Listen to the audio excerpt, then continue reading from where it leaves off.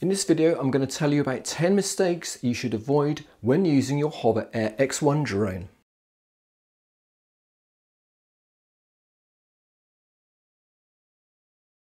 Now this is going to be particular interest to newcomers and first time users of this little selfie drone. Now first, a lot of these mistakes mainly apply to this very first version of the Hover Air X1 and not to these new Pro versions which address a lot of the shortfalls of this cheaper version. Number one, do not try and fly the Hover Air X1 over water or any other reflective surface. Now this includes snow as well. There's even a warning that pops up when using manual mode.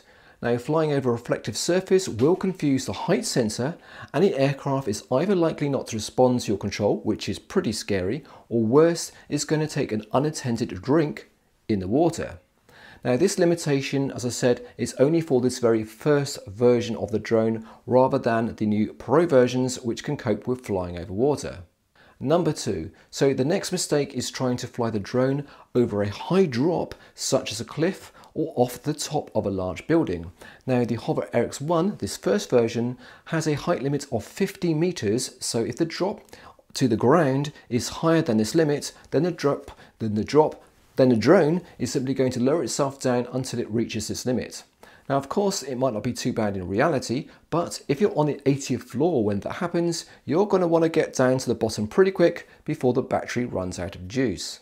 Number three, so this brings us to the next mistake, which is not remembering that the Hover Air X1 only has about 10 minutes or so of juice in a battery. So don't get too excited and start off your manual mode adventures and send it off too far when the battery is very low. If it is low on the battery, it's going to issue a warning and then it's going to descend and start the landing procedure automatically. So you want to make sure that it's going to land in a safe place and it's not going to be difficult to retrieve.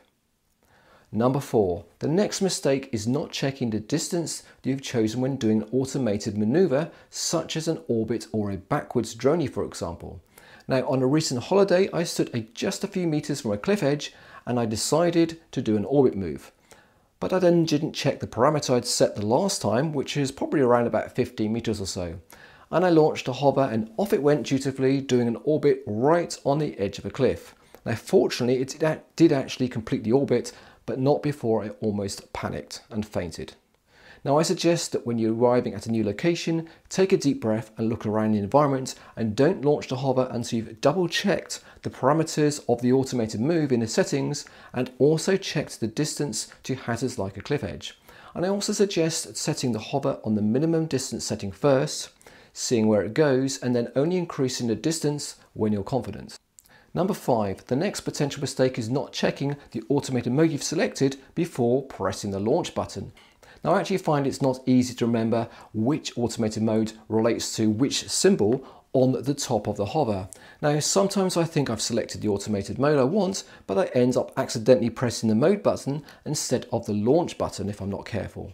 Now what happens is the hover gladly goes off and does its mode and it's not always the one I wanted. Now once again on holiday it very nearly crashed into a rock when I thought it was in orbit mode and instead it was decided to do a backwards drone instead, narrowly missing a rock. Number six, next remember the drone has no obstacle avoidance sensors at all, nothing at all, nothing on the front, back or side or anything like that. So if it's tracking you from behind and there are obstacles like branches, it's going to happily crash into them if given half the chance.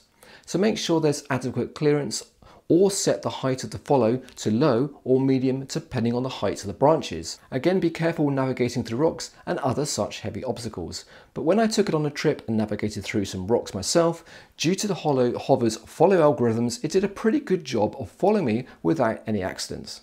Number seven, make sure that you set an appropriate height and distance when doing a follow shot. Now, on a few occasions, I've actually set the follow height to low and close and then found most of the footage consisted of a fairly close shot of my butt walking around which nobody wants to see.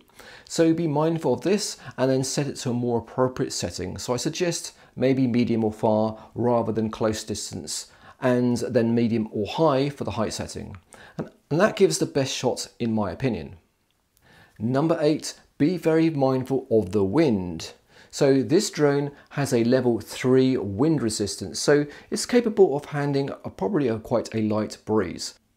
So the higher the drone is in height in the sky, the stronger the wind. So when doing shots like the rocket dronie where the drone goes up some way, the wind's either going to cause the drone to go off course or wander away and have more trouble performing its shots. So it may be better to keep the automated shots like orbit and follow to a low level if you've got some strong wind. Now also be careful in large open spaces near to cliff edges etc. Now the wind can really pick up near a cliff edge and you don't want to do an orbit shot and then you'll find your drone has difficulty fighting the wind to return to you. Now the next two tips you might consider are particularly stupid mistakes, but I wanted to include them anyway because I've actually done them once and, and when I really wasn't concentrating on what I was doing. Okay, number nine, if you're flying the drone in manual mode, make sure that the mobile phone is in close range of the drone.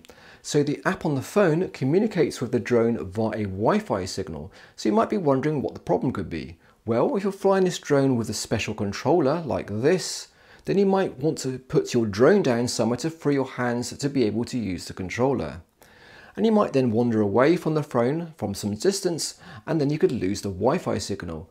Or on my phone in particular, if the phone goes to sleep or gets locked, then the Wi-Fi signal can get interrupted, causing the drone to lose connection and do rather random things. Number 10, this brings me onto a rather related daft mistake. Again, when flying this manual mode and using the controller, the controller communicates with the phone in Bluetooth and then the phone then con uh, controls the drone via Wi-Fi.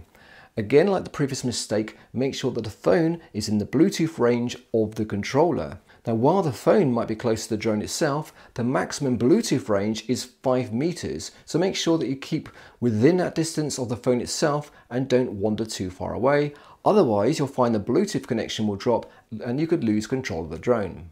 Okay, well that's 10 mistakes to avoid when using the Hover Air X1. Now hopefully you're not going to make these mistakes as you're going to be much more clever than me, but I just wanted to make sure that no one else falls for these mistakes like I did.